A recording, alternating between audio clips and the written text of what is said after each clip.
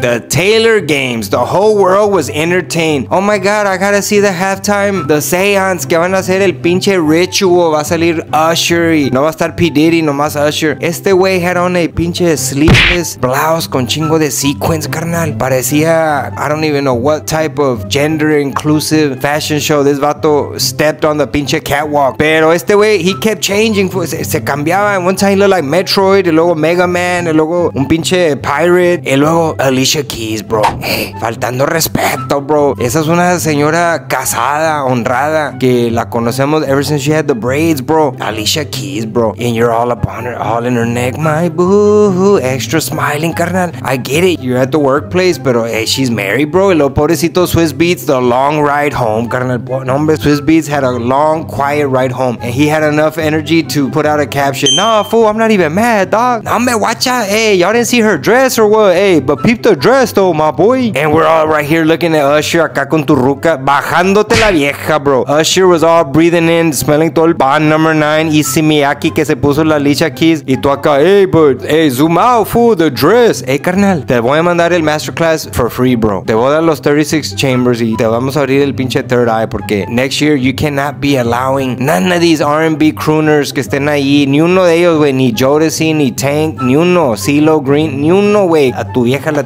ahí. Ahí va the piano. Ay, really, Swiss. Amárrate un huevo, carnal. You got a Sancho up. Treat her like a clienta. Ok, tío Juntino. Puro Masterclass Chile. No se pasen.